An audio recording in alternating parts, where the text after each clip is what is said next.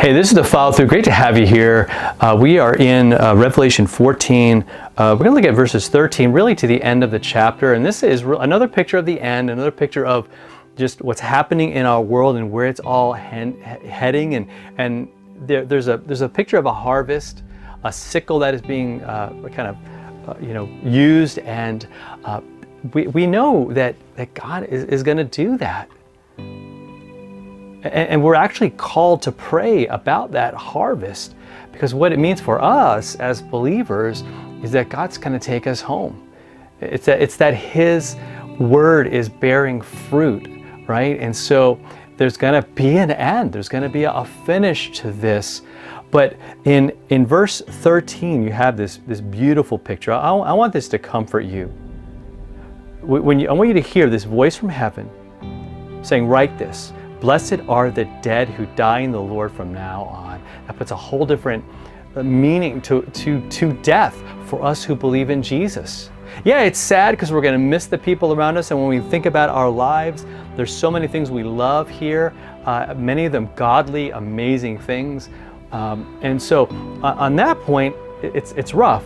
But ultimately, it's, it's a beautiful thing and it's a blessed thing, he says. Blessed indeed, says the Spirit, that they may rest from their labors, for their deeds follow them. Again, who we are is, is, is been determined, be determined by God. He has given His life for us. He has claimed us. His name is on our foreheads. We, we are um, His children. And so what we do flows out of that. And, and the things that we do that are eternal are going to follow us. They're going to go with us. They're going to speak for us. They're going to co- proclaim both now and in eternity how great our God is. So let's see what we do in that light.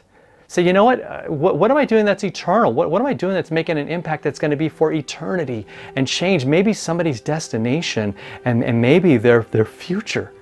How cool is that?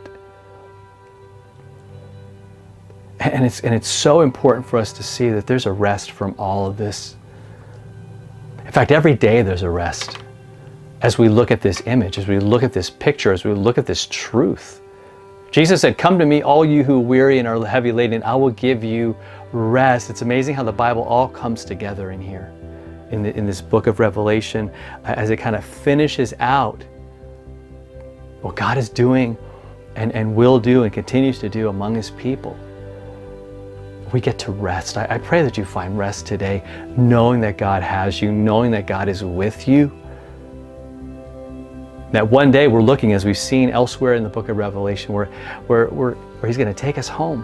He's going to wipe every tear from our eyes. There's going to be no more death. There's going to be no more tears, no more pain.